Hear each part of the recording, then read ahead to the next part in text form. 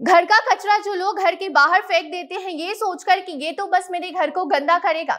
लेकिन अब बिहार में लोग कचरा को फेंकेंगे नहीं, बल्कि अपने घर में सजो कर रखने वाले हैं। क्योंकि अब वो कचरा वो काम करेगा जो बिहार की सरकार नीतीश कुमार भी नहीं कर पा रहे हैं। ऐसे में अब आप सोचेंगे कि हम कचरे से नीतीश जी की तुलना कर रहे हैं तो ऐसा बिल्कुल भी नहीं है। अपनी बातों को साफ़ करते हुए हम आपको बता दें कि नीतीश कुमार का नाम हमने इसीलिए लिया क्योंकि इसी सुशासन बाबू के नाम पर पुतला जलाया जाता है, मुर्दाबाद के नारे लगाए जाते हैं। और पता है ये सब क्यों होता है?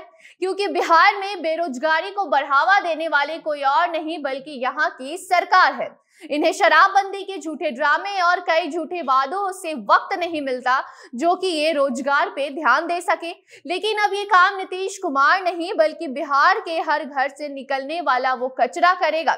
यानी कि घर घर से कचरे से अब लोगों को दस हज़ार तक के सैलरी वाले रोज़गार मिलेंगे। तो कैसे आप ये रोज़गार पा सकते हैं और इसकी शुरुआत कब और कैसे होनी है, ये सारी जानकारी हम आपको देंगे। इस वीडियो में उसके पहले नमस्कार, आप देख रहे जनता जंक्शन जंक्शन और मैं आपके साथ वंदना कैमरा पर्सन ओम प्रकाश के साथ। यात्रीगण, कृपया ध्यान दें। अब भारत में कहीं भी ट्रेन में बैठे बैठे आप अपने मन पसंदीदा रेस्टोरेंट से खाना ऑर्डर कर सकते हैं और अपनी यात्रा को जायकेदार बना सकते हैं। यात्रा में खाना ऑर्डर करने के लिए अभी डाउनलोड करें rail resto app, play store या एप्पल स्टोर पर। बिहार के शेखपुरा में अब घर घर से निकलने वाले कचरे का उपयोग रोजगारी बढ़ाने में किया जाने लगा है। अब आप सोचेंगे कि कचरे से रोज़गार कैसा? तो बता दें कि कचरे का उपयोग करके जैविक खाद तैयार किया जा रहा है और फिर उसे बाज़ार में बेचा जा रहा है। शेखपुरा नगर परिषद ने इसकी शुरुआत की है और शुरुआत ऐसी जिसने 50 लोगों को नौकरी भी दे दी है। ऐसे में जब से लोगों को पता चला है कि घर से निकलने वाले कचरे से एक खास प्रकार का खाद तैयार किया जा रहा है और उसे बेच के एक तरफ़ पैसे कमाए जा रहे हैं तो वहीं दूसरी तरफ़ लोगों को नौकरी भी दी जा रही है, जिसके बाद जल्दी कोई कचरा देने को तैयार नहीं हो रहा है। और साथ ही इस प्रक्रिया को जानने के लिए उत्सुक भी बैठा है। ऐसे में बता दें कि घर के कचरे से तैयार किए जाने वाले इस जैविक खाद का उपयोग किसान अपने फल, सब्ज़ी और भी कई फ़सलों में करते हैं। इसी को देखते हुए इस जैविक खाद को पाँच रुपए प्रति किलो बेचा जा रहा है।